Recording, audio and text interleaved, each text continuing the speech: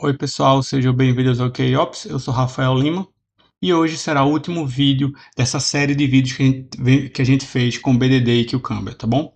E a gente vai fechar mostrando uma, uma funcionalidade do Gradle que permite que você tenha algumas configurações definidas em arquivos próprios, tá bom? Então se você não se inscreveu, se inscreve, marca o sininho para receber as notificações dos próximos vídeos. Eu também vou postar o link dos vídeos para que você possa acompanhar e vamos lá, né? Vamos começar a brincadeira. Então, o que é que, o que é que, por que que eu faria isso, né? Se a gente for olhar aqui o nosso Cucumber Runner, ele tem um caminho aqui, ó, build report feature.html. E isso é usado tanto quando você roda uma tarefa local, quanto quando você é, roda no CI, tá bom? E aí, qual é o problema disso? Né? Ele, ele é, é uma configuração né, de um relatório. Aqui eu estou configurando o meu Cucumber, tá? Essa aqui é a configuração do Cucumber, então eu deixo aqui. Aqui também é a configuração dos meus testes eu deixo aqui, mas aqui é simplesmente onde ele vai estar tá gerando o relatório. Então não, não impede nada da, da. Não é uma configuração do Cucumber, é só uma configuração do relatório. Então isso, isso faz sentido estar tá em um outro local tá bom? Então a gente vai remover isso daqui porque eu posso querer que esse relatório seja gerado em diferentes locais a depender de onde eu esteja, tá bom? Então o que o Gradle permite é a gente ter um arquivo que eu possa ter um arquivo de propriedades, tá? Então o que é que eu vou fazer? Eu vou vir aqui no meu app, onde está o Build Gradle, e eu vou criar um arquivo chamado gradle.properties. E ó, ele já, ele já reconheceu que é um arquivo de propriedades, tá bom? E eu vou chamar aqui de Cucumber Report, tá bom? E o caminho desse Cucumber Report é build report feature HTML. Beleza? Opa, e aqui tá dois pontos, é igual. Ótimo, agora ele reconheceu. Beleza? Ótimo. Então, como é que eu uso isso? E aqui é que está a beleza do Gradle. Eu uso isso como se eu tivesse def definido isso dentro do arquivo. Né? Então eu posso vir aqui dentro né, e dizer que eu vou usar isso aqui em qualquer um desses cantos que estão é, aqui definido, definido para mim. Tá? Então, então o que é que eu vou fazer? Eu vou criar uma task só para a gente poder ver que ele está realmente pegando aquela configuração chamada test eu vou fazer, eu vou imprimir, eu vou imprimir em string a variável cucumber report. Beleza?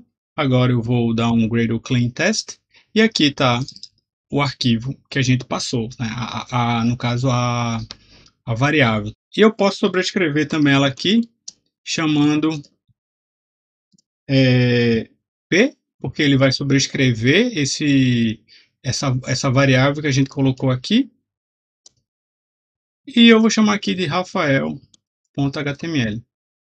E aí, modificou aqui já a variável. Se eu não passo, ela vai usar a configuração padrão.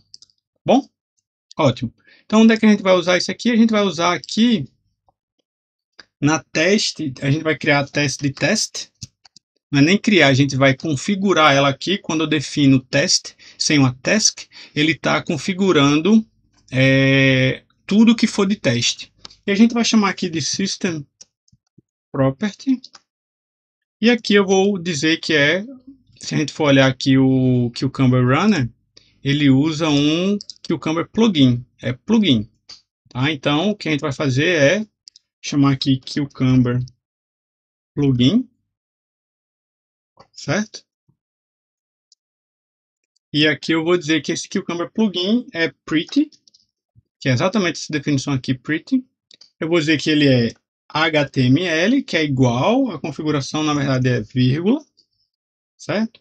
E aqui é HTML, dois pontos, e essa mesma configuração, só que essa configuração agora é o nosso Cucumber Report. A gente colocou aqui o ele, só que eu tenho que agora remover ele daqui. Eu não posso ter os dois. Né? Ou eu tenho um, ou eu tenho outra configuração. Então, eu removo esse daqui eu já subi a aplicação, eu vou rodar agora o nosso teste, eu vou limpar.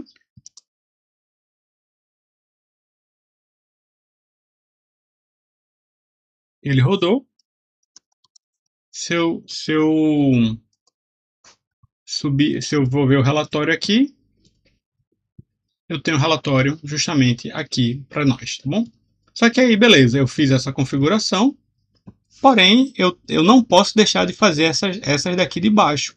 Se eu não fizer essa aqui, é, é, se eu não fizer essas aqui, quer dizer que ele não vai é, gerar o relatório no local que eu espero. Tá? Então eu preciso definir também essa configuração aqui. Então essa configuração vai ser Cucumber plugin aqui, certo? E aqui é a mesma coisa que a gente definiu nesse aqui. Beleza? E a mesma coisa no de baixo. E esse de baixo é igual a esse. Pronto. Então, basicamente, a gente está fazendo isso porque a gente removeu daqui.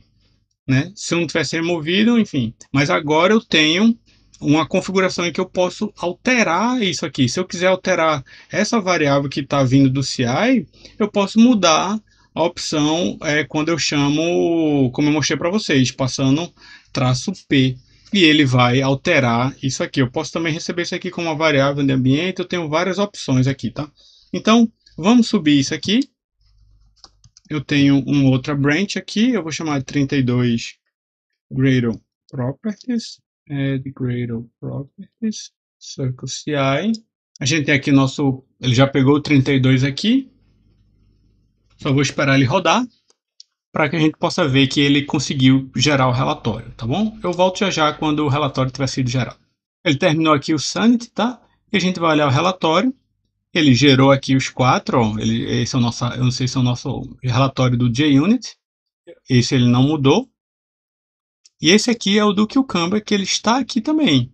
Tá? Então, ele conseguiu configurar direitinho o relatório do Cucumber. Se a gente for olhar agora o, a regressão, a regressão está rodando, e a regressão também conseguiu rodar, é, gerar o relatório no local que a gente estava esperando, tá bom? Então era isso que eu queria ter mostrado para vocês. A gente fechou com chave de ouro o assunto agora, tá? A gente tem uma pipeline configurada, a gente fez várias coisas aí. É...